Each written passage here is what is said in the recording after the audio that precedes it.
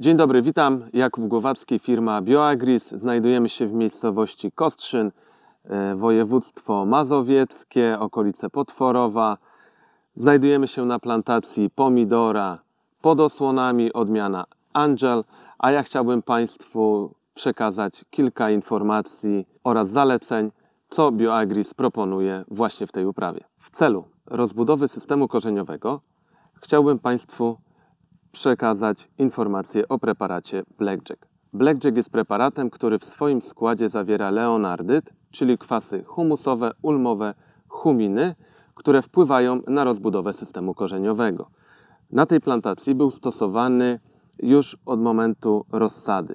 Pierwszy raz w fazie pierwszej pary liści, drugi raz przed wysadzeniem rozsady. Kolejny zabieg jest tutaj planowany dwa tygodnie po wysadzeniu, czyli za około tydzień czasu. Blackjack jest preparatem, który bardzo mocno wpływa na rozbudowę systemu korzeniowego, ale również na zdrowotność roślin. Aby utrzymać zdrowotność e, rośliny, musimy pamiętać o zagrożeniach, które występują na plantacji już w momencie tworzenia rozsady.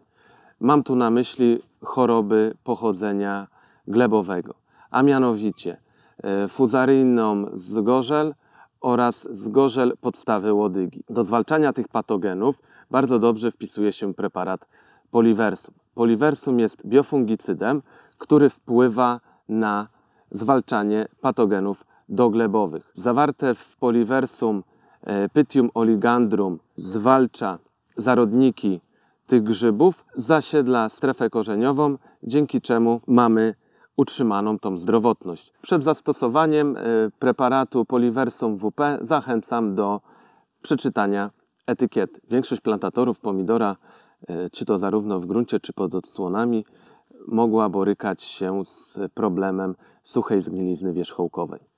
E, głównym, główną przyczyną występowania tego zjawiska jest niedostateczne zaopatrzenie wapń wierzchołków roślin oraz owoców. Może być to spowodowane złymi warunkami atmosferycznymi, zbyt dużymi opadami deszczu, przelaniem, ale również też wysoką temperaturą. Znając podstawy występowania suchej zgnilizny wierzchołkowej, zalecamy na początku kwitnienia zastosowanie preparatu Biokal, który w swoim składzie zawiera wapń i cynk. Biokal otwiera w roślinie pompę auksynowo-wapniową, dzięki czemu ten pierwiastek jest transportowany do górnych części rośliny oraz owoców. Dzięki zastosowaniu biokalu osiągniemy plon wysokiej jakości oraz bardzo wysokiej trwałości pozbiorczej.